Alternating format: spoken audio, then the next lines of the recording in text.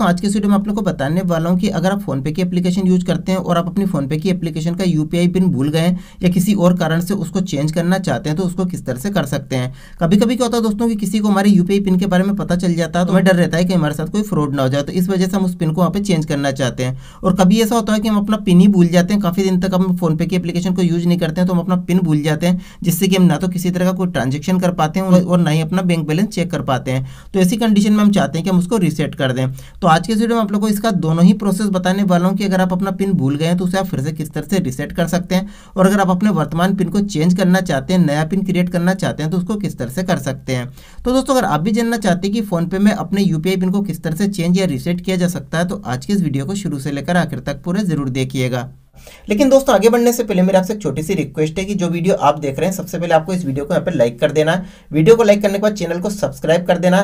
Channel को subscribe करने के बाद यहाँ पर आपको बेल आइकन पर प्रेस करना और यहाँ पे ऑल को सिलेक्ट कर लेना है। इससे क्या होगा दोस्तों की इन फ्यूचर में आप लोगों के लिए जो भी वीडियो लाऊँगा, उसकी नोटिफिकेशन आपको सबसे पहले मिल जाया करेगी। इसके बाद आपको नीचे कमेंट सेक्शन में आना और यहाँ पर आपको टाइप करना दोस्तों यूपीआई पिन इस तरह से आपको यूपीआई पिन टाइप करना और यहाँ पे कमेंट आपको छोड़ देना है। बस दोस्तों, आपको सिर्फ़ इतना सा काम कर देना है। अब चलिए बात कर लेते हैं कि फोनपे में आप अपने यूपीआई पिन को किस तरह से चेंज या रिसेट कर सकते हैं। तो इसके लिए सबसे पहले आपको अपने फोनपे की एप्लीकेशन को ओपन कर लेना है। तो यहाँ पर आप देख सकते हैं, मैंने अपनी फोनपे की एप्लीकेशन को ओपन कर लिया है।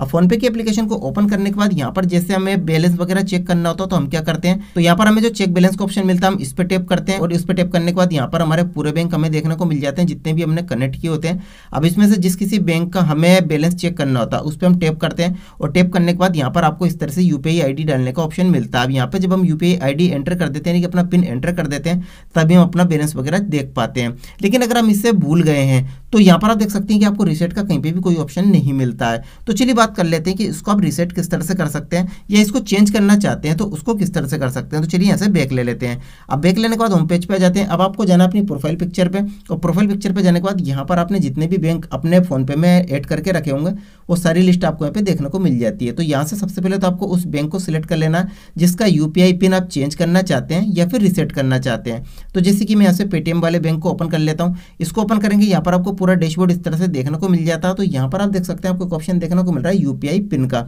और इसके सामने आपको दो ऑप्शन देखने को मिल रहे हैं। एक आपको रिसेट का ऑप्शन मिल रहा है और सेकंड आपको यहाँ पे चेंज का ऑप्शन मिल रहा है। तो यहाँ से अगर आप अपने इस पिन को चेंज करना चाहते हैं, यानी कि अपने यूपीआई पिन को चेंज करना चाहते हैं तो आपको यहाँ पे चेंज पे टैप करना है। चेंज पे टैप करने के बाद यहाँ पर आपको कुछ इस तरह का इंटरफेस देखने को मिलेगा। तो यहाँ पर आपको क्या करना है दोस्तों कि आपका जो वर्तमान वाला पिन है, आपको सबसे पहले अपना वो पिन यहाँ पे एंटर कर देना है कि अपना ओल्ड वाला यूपीआई पिन आपको यहाँ पे डाल देना इसके बाद नेक्स्ट पे आपको करना क्या है कि आपको नया वाला पिन डाल देना जो भी अब आप यहाँ पे चेंज करना चाहते हैं। और इसके बाद आप ओके कर दीजिए और यूपीआई पिन यहाँ पे चेंज हो जाएगा। तो ये तो तरीका होगा किस तरह से अपने यूपीआई पिन को हम चेंज कर सकते हैं।